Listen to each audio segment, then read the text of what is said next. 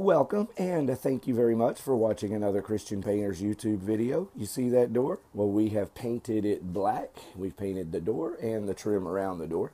It was all sanded down 100% and painted with Sherwin-Williams exterior satin resilience. Now here's the inside of this door. It was also painted, but instead of black, it's been painted white and the trim around the door. But come in here with me, look at here we get to go through plastic. Here's what we're really doing today. We are retexturing ceilings. These were popcorn acoustic textured ceilings. You know, those little popcorn pieces. Here you can see it, old pieces up inside that vent. Folks, clean your vents. But um, we have scraped all of this texture off and have floated it smooth, made a few repairs in a few areas, and you can see the fine tuning just getting ready for the texture now.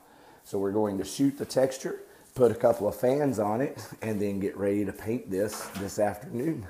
And we'll be done with this little old job and moving on to Steinmart. We'll be at Steinmart in Fort Worth off of Hulen Street for the next few days. So come on by and say hi. Thank you very much for watching another Christian Painters YouTube video. And whether you need a professional painter to scrape your ceilings and retexture and paint them, or maybe you need your exterior painted or just some interior walls painted. Either way, give us a call right here at Christian Painters. We would be honored to have your business. 817 473 0310.